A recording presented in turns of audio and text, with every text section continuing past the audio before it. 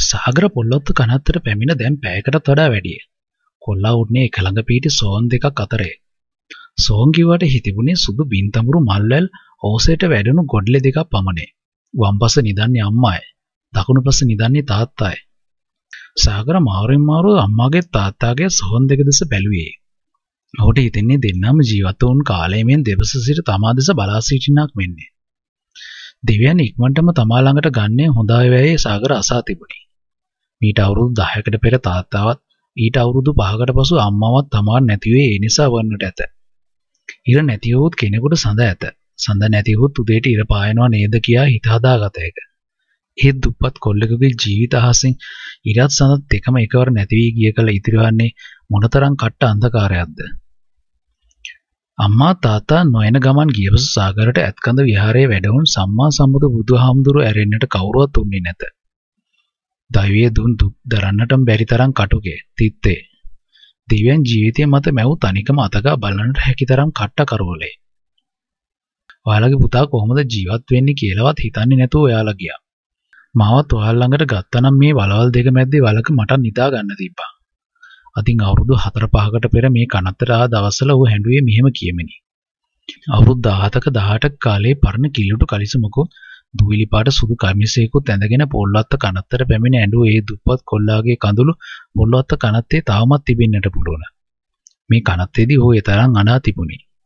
මං අද රස්සාවකට ඉන්ටර්විව් යනවා. ඒක ලැබුණොත් මට කුරුණෑගලින් ටික කාලයකට යන්න වෙයි. ඔහු මේවා කියන්නේ මිනිවල උඩ පස් අත ගාමිනි. ඇත්තටම සාගර කියන්නක් මෙන් ඔහු අද රැකියාව සඳහා සම්මුඛ පරීක්ෂණයකට යන්නට උන්නේ. ඒ තිබෙන්නේ හෙටේ. ඒ තදම් පිටත් වී ආයතේ. මීට වසර 5කට පෙර මලිදීවේ ගේට්ටුවෙන් පිටව දක්ෂ කොල්ලෙක් ඊටත් මාස 3-4කට පසු කුරුණෑගලට අවුමේ ප්‍රේමරත්න හෝටලේ බිල් ලිව්වේ. මලිදීවේ සර්ලා හෝටලේට තේ බොන්න ආවිට හෝටලේ බිල් ලියන කොල්ලා දෙක පුදුමුයි. ඒ සාගර ඒ තරම් දක්ෂ කොල්ලෙකු වූ නිසායි. අනේ පුතේ ඔයා මෙහෙ ගුරුවරු ආදී සාගර දිලිසෙන ඇස් වලින් අහිංසක ලෙස සිනාසුනේ. මාන්සර් මේ අපි හිතුවා පුතේ ඔයා කතාව එහෙමයි. දෙවියන්ව කනහටු ගස් මත මල් වවන්නේ නැත. මල් පොකුර පොකුර දෙන්නේ සරු ගස්වලට. ප්‍රේමරත්න හෝටලේ බිල්ලියනට ගිය අලුත සාගර කොළඹ රස්සාවල් 100කට පමණ ආයුධම්පත් දැම්මේ. ඒ තරම්ම වාර ගන්නක් ඕ කොළඹට බඩ කෑවේ. ඒත් රැකියාවක් ලැබුණේ නැත. කොළඹ යන්නට ගිය වියදමත් අපරාධේ. අවසානට අවුරුදු 3ක් පමණ යනතුරු සාගර රස්සාවල් වලට ආයුධම්පත් දැම්මේ නැත. සති අන්තයේ සිලිමුණ පත්තරයේ තිබූ දැන්වීම සාගර දුටේ පසුගිය සතියේගේ. දැන්වීම දමා තිබුණේ අඹේවැල පුද්ගලික ෆාම් හවුස් එකකිනි. මේ රස්සාවට ඇදුම්පත් දමන්නට ඔහුට සිතුනේ ඒ පරිසරයට ඔහු ඒ තරම්ම ඇලුම් කළ නිසායි. දැන්වීමේ දමා තිබුණේ ෆාම් හවුස් එකක නැවතී රැකියාව කළ හැකි කෙනෙකු ඉල්ලාය. කාත් කවුරුවත් නැති ජීවිතේ කොහේ ගියවද වෙනසක් නැත. කොහේ වුණද තනියමේ.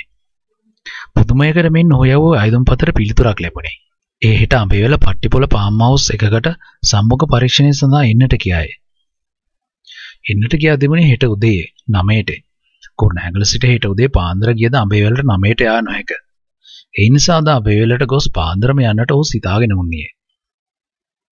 එහෙම ගමනක් යද්දිවත් ගිහින් එන්නම් යයි කියා යන්නට මේ ජීවිතේ කෙනෙක් නැත. ඇත්තේම නැත. සාගර පොල් සප්ත කනත්තට ආවේ එබැවිනි. ජීවිතේ උන් එකම දෙන්න පස අතරය. සාගර සෝම් දෙකටම වැන්දේ තොල්පට තද කරගෙන. මලවුන්ට තම ජීවත් වෙන බැඳුම්කාරයන්ම පේනවා නම් ඔවුන්ගේ මල දෙන්නෙත් පවා මේ දෙයට තෙත් විය යුතුය. සාගර කනතේ සිට කිලින්ම ගිය ප්‍රේමරත්න හෝටලයට. ඔහු නවදාට බිල්ලියන්නේ මුදලාලිමේ. සාගර හෝටලයට ඇතුල්ලේ මුදලාලි ළඟ නැවතුණේ. මොකද? ඔහු අසන්නේ ගහන්නට මෙනි. සාගර බිම් බලාගත්තේ. ඔහු බනින්න ගත් විට බනින්නේ මුළු හෝටලේටම ඇසෙන්නට. මට මුදලාලි දවස් දෙකකට පොඩි නිවාඩුවක්. දවස් දෙකක් කියන්නේ පොඩි නිවාඩුවක්ද ඔයි? සාගර යලිත් බිම් බලාගත්තේ. මට යන්නම ඕන ගමනක් තියෙන මුදලාලි. ඉතින් යනවා යන්නම යනවා. තමුසි හිතන්නේ මේ කුරුණෑගල මේ බිල් කෑල්ල ලියාගන්න මිනිහෙක් නෑ කියලාද? ඉජ්ජු ඉජ්ජු කියලා ගෙන්නක තෑකි. කතා කර පළක් නැත. දවස් 30 සල්ලි ඉඹිඹ ඉන්න මුදලාලි අවුරුදු 20කින් 30කින් තම දරුවෙක්වත් ඉම නැත. ඌ හඳුන් කුරු අල්ලන්නේ බුතුන්ට නෙවෙයි සල්ලි ආච්චුටේ. මගේ පඩියෙන් ඇඩ්වාන්ස් එකක්. මේ උදේ පාන්දර සල්ලි කොහෙද ඔයි? තාම උදේ කෑම ටිකවත් බිස්නස් වුණාද? සාගර හැරුණේ හෝටලේ කොල්ලෝ දෙතුන් දෙනා ඔහු දෙස බලා වුණේ දුකිනි. කාටත් බෙදන්නේ මේ හැන්දිනි. අතේ රුපියල් 500ක් ඇත. ඔහු මුදල් ටිකක් ඉල්ලුවේ ඒ මදි වේ යැයි සිතයි. සාගර හෙට සම්මුඛ පරීක්ෂණයට අඳින්නට ඇඳුමක්ද මැදගෙන ඒ පරිස්සමින් ගමන් මල්ලේ දමාගෙන කුරුණෑගල ස්ටේෂමට ආවේ දවල් 1ට 2ට. කුරුණෑගලට අවම කෙලවරක වූ ඇතෑගල කන්ද පවා ඔහු දෙස බැලුවේ උඹ පව් කියන්නට මෙනි. තිසානයක ගෝබෙල පීටා තිබුණි නුවරඑළියත් අඹේ වෙලත් පට්ටිපුලත් අතරේ. ශ්‍රී ලංකාවේ සුන්දරම මීදුම්බඩ පරිසරයක් වූ සුන්දර ලෝකාන්තයක් පීටා තිබුණේ ඔය අතරේ.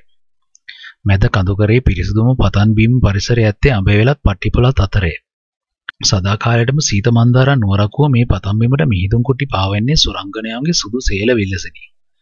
මිහිදුන් සේද අතරින් නිල් පතන දිස්සන්නේ යොවුන් ජීවිතයක් ඇඳි සේද සායක් අතරින් ඇගේ සුන්දර දෙපා පෙනින්නක් මිනි.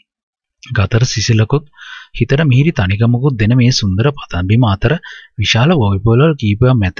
ඒවා බොහොමයක් මහා පරිමාණ ලෙස සත්ව කිරි නිෂ්පාදනය කරන ගොවිපෙළවල්ය. අඹේවැල කිරි නිෂ්පාදනකාරයා නිව්සීලන්ත ෆාම් එකක් පිහිට ඇත්තේ මේ බිමේ. තෑසරි දිසානායක මහතා මුලින්ම මේ ගොවිපළ මිලට ගනිද්දී එතන තිබුණේ කුඩා ෆාම් හවුස් එකකුත් කුඩා ගොවිපළකුත් පමණි. ওই කාලේදී මේ ෆාම් හවුස් එක ගත්තේ මීට වසර 10කට 12කට පමණ පෙර තම බිරිඳ මිය ගියාවෙන් ඇති වූ පාළුව වසා ගැනීම සඳහාය. නුවර යහලතැන්නේ සිට පට්ටිපොලට ආ දයාසිරි තනියම මේ වැඩ කටයුතු කරගෙන ගියේ. ඊටත් පසු ඔහු මේ ව්‍යාපාරයට ආදරය කරන්නට පටන් ගත්තේ. එතෙක් තිබූ ෆාම් හවුස් එක කඩා විශාලව ඒ නිවස හැදුවේ තමාට පමණක් නොව තම දූදරුවන්ටත් මුණුපුරු මිනිබිරියන්ටත් කවදාක හෝ මේ පරිසරයේ ජීවත් වෙන්නට අවශ්‍ය වූත් ඒ ඉටු කිරීම පිණිසය. දයසිරි මහතාට පුතෙකුත් දූලා දෙන්නෙකුත් සිටියේ. ඔවුන් විවාහ වූයේ අදින් වසර 20කට 25කට පමණ පෙරය. දැන් ඔහුට මුණුපුරු මිනිබිරියන් 6-7 දෙනෙක් ඇත. ඒත් දයසිරි මහතා වැඩිම ජීවත් වූයේ තම බාලපුතාගේ පවුලත් සමග. ඔහු සේවා කළේ පොලිස් සේවයේ. ඔහුට දුවකුත් පුතෙකුත් තුනේ. දුව සපුමලියේ, පුතා සපුමල්ලිය. මේ දරුවන් දෙදෙනාට දයසිරි අන් අයට වඩා ඇලුම් කළේ. ඒ නිසා මොහු විශේෂයෙන්ම ජීවත් වූයේ ඔවුන් සමග. දයාසිරිගේ බාලපුතා වූ ජයන්ත තම පිරිතත් දරු දෙදෙනාත් රැගෙන නුවරඑළියට ආවේ මීට වසර දෙකකට පමණ පෙරේ. ඒ ඔහු බදුල්ල දිස්ත්‍රික්කයේ බාර පොලිස් අංශයේ ඉහළ නිලයක් සඳහා පත් වූ අවස්ථාවේ. දයාසිරිගේ පොඩි පුතා වූ ජයන්ත මේ ෆාම් හවුස් එකට පංචින්දීට පැමිණීම ගැන ඔහුගේ ලොකු දූ ජයන්තිත් බාල දූ නාලිකාත් ඒ තරම් කැමැත්තකින් පසු වූයේ නැත. ෆාම් හවුස් එකත් ඊටම යාබදව ඇති විශාල ෆාම් එකක් සරුවත්කම බව ඔවුන් දැන උන්නෝය. ඒ ජයන්ත තනියම අත්පත් කරගනීමේ උදේ සැකයක් අනිත් දෙදෙනාම තුලම ඇත. ඒ නිසා ඔවුන් මාසයකට වතාවක් මේ නිවසට පැමිණ සතියක් දෙකක් නතර වෙති. ඒ ගැන කවුරුවත් වැරද්දක් නොකියුවේ මේ කාටත් හිමි දේපල නිසාය. තිල්හාරට සපුව ප්‍රොපෝස් කරලා තිබ්බනම් හරි. එතකොට කැන්ඩි දේපොළ ටිකත් අපේ කාට. ඔය ෆාම් හවුස් එකත් අපේ කාට. මස්සිනයි නෑනයිනි ජයන්තත් විරුද්ධ වෙන්නේ නැහැ. දෑසිරගේ ලොකු දුවෝ ජයන්ති සැමියාට කිව්වේ එලෙසනේ. අනික සපෝත් හොඳ කෙල්ල. දැක්කම හරි ලෝබයි. දිල්හාරට හොඳට ගැලපෙනවා. ඉන්පසු පට්ටිපොළ ෆාම් හවුස් එකට ජයන්තිත් ඇගේ සැමියාත් දිල්හාරත් ආ හැම විටකම ඕන් ආවේ වෙනත් අරමුණක් හිතේ තබාගෙන. ඒ ගැන කිසිවෙත් දැන උන්නේ නැත. දිසානායක ෆාම් හවුස් එකට ගියේ කුඩා කාර්යාලයකි. මෙතෙක් කලක ඒ කාර්යාලයේ වැඩ බලාගත්තේ දයාසිරි මහතාත් ඔහුගේ ලියන මහත්තයා වූ වික්‍රමසිංහත්ය. එහෙත් ඔහු ගිය වසරේ අන්ත්‍රාවිය. ඒ දයාසිරි මහතාට දැරිය නොහැකි පාඩුවක් විය. ඉන්පසු උසස් පෙළ නිමා කර ගෙදර වුණ සපුව ජයසිරි මහතා තම ෆාම් හවුස් එකේ උදව්වට ගෙන්නා ගත්තේ. ඒ වැඩ කර ගැනීමටම නොවේ. කෙල්ලෙක්ගේ නිදි පාළුවක් නොදෙන නිසාය. සිය දැන් මට පඩි කීයක් විතර දෙන්න හිතාගෙන දින්නේ. කෙල්ල ඇසේ දෑසිරගේ මේසේ මත නිකට තබාගෙන සුවිටරිය අත්යටට ඇඟිලි තුඩු සිර කරගෙනය. රුපියල් 1500ක් විතර කෙල්ල අද්දක ඉනට තබා ගනි. කට ඇද කරයි. පපුව ඉස්සරහට දමා ගනි. හොඳට හිටි. අඩම ගානේ මට 10000ක්වත් ඕන. මං එක වැඩක් කියලා කරනවය. වැඩ කර කර ඔයත් එක්ක කතා කර කර ඉන්නත් ඕන. මෙතන සෙක්‍රටරිත් මම, පියනුත් මම, ක්ලාකුත් මම. කවදාරි මෙතන බොසුත් මම. දයසිරි මහතා ඒ කියාගෙන ආදේ එසේ අවසන් කළේ. හොඳයි මම මේ පාරේ ඉඳලා අර පඩිය දෙන්නම්. සපු පිටිපසින් පැමිණ සියාව වෙනඳ ගත්තාය.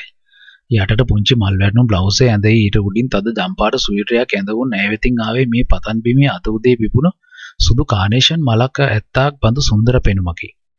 දයසිරි මහතාට කෙල්ලව දකිදී සීවන්නේ රෝස මලකි. ඔහු තම මුණුබුරු මිනිබිරියන් අතරින් මේ කෙල්ලට මේ තරම් ආදරය කරන්නේ මේ මලක් බඳු ලස්සන නිසාම නොවේ. කෙල්ලගේ පපුවේ මේ කාලංගවන් නැති මිනිස්කමක් ඇති නිසායි. තම මුණුබුරන් සියල්ලම් පැමිණ තම දෙපා වඳී. එහෙත් මේ කෙල්ල එසේ වැඳ පාද සිපගනී. ඒ ආදරය නිසා බව ඔහු දනී.